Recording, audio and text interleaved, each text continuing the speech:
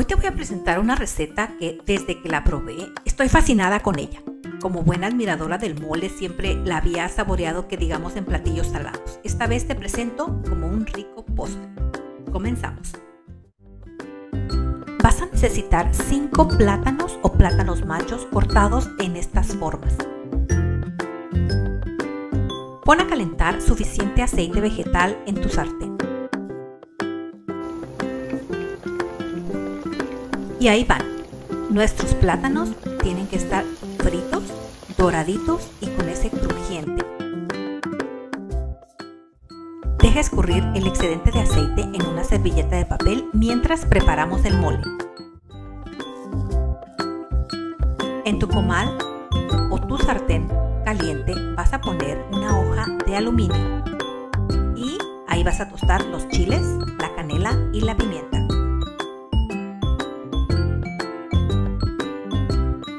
Requiere aproximadamente de unos 5 minutos. No lo queremos quemado, pero sí queremos que suelte ese olorcito rico que andamos buscando.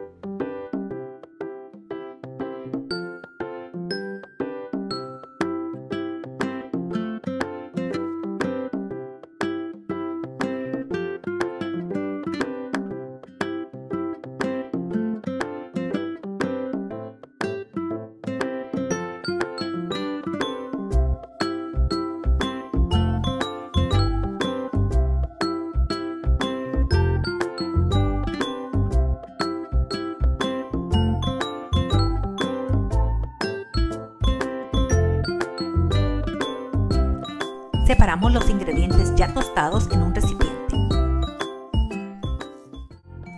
Tostamos entonces nuestros 5 tomates y nuestro pimiento rojo. No importa que sean en mitades, lo que andamos buscando es que se tuesten.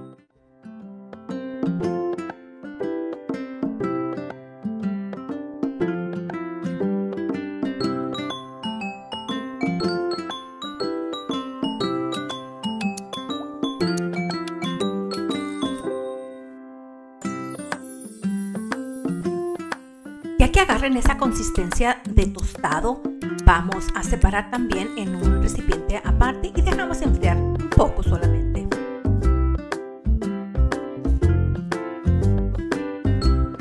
Mientras tanto, en una taza y media de agua hirviendo vamos a poner a desbaratar nuestras tablillas de chocolate. Y vamos a poner a tostar nuestra semilla de calabaza o pepitoria. Máximo 3 minutos.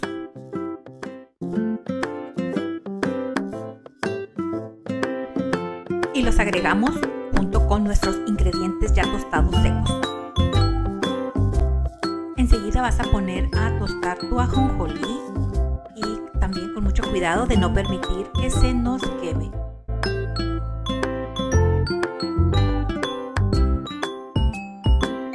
Entonces vamos a moler nuestros ingredientes secos. Yo estoy utilizando una moledora de café. Eh, si a ti se te facilita más el uso de la licuadora, pues adelante. A mí en lo personal me gusta más molerlo en este aparatito.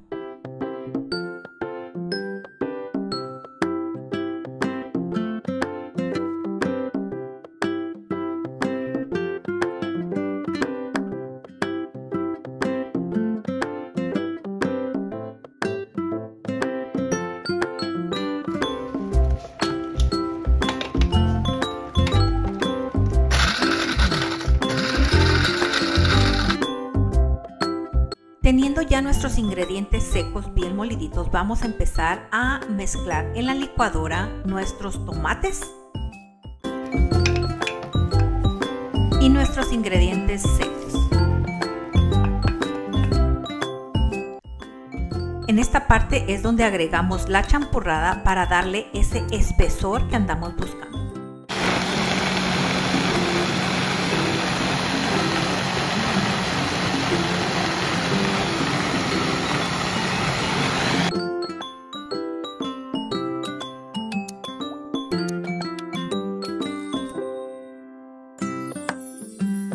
Licuado más o menos por 3 minutos vamos a agregar a nuestro sartén caliente nuestro rico mole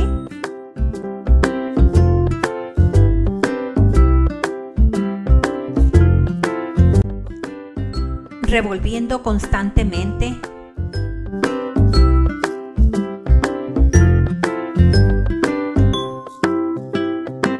Incorporando el chocolate ya desbaratado en agua caliente.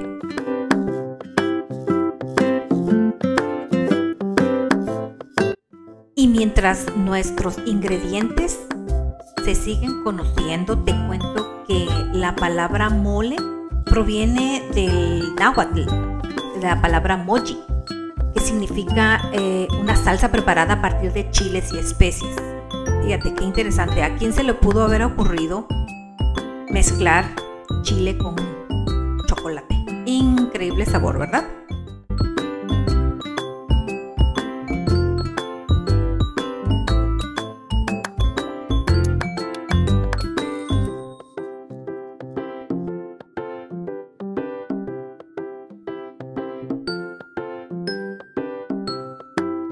Ojalá que tengas la oportunidad de hacer esta rica receta porque no sabes los olores que están soltando.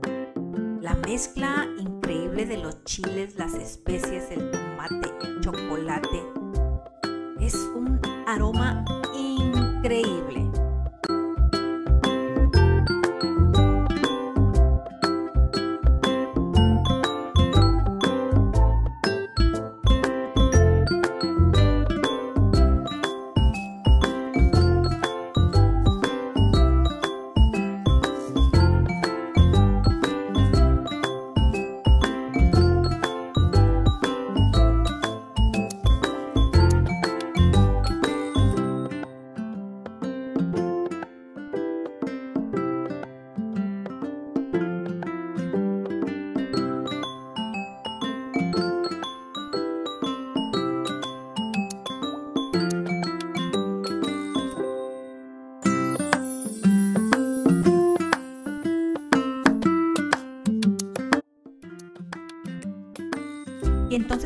Nuestra presentación final.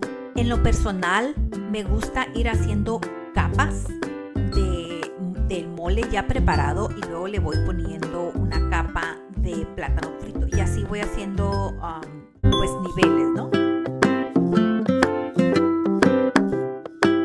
Conozco gente que eh, incorpora el plátano hacia la salsa y después lo sirve, pero ahora sí que es a tu gusto. A mí en lo personal me gusta este estilo porque te da una presentación muy colorida a la vista.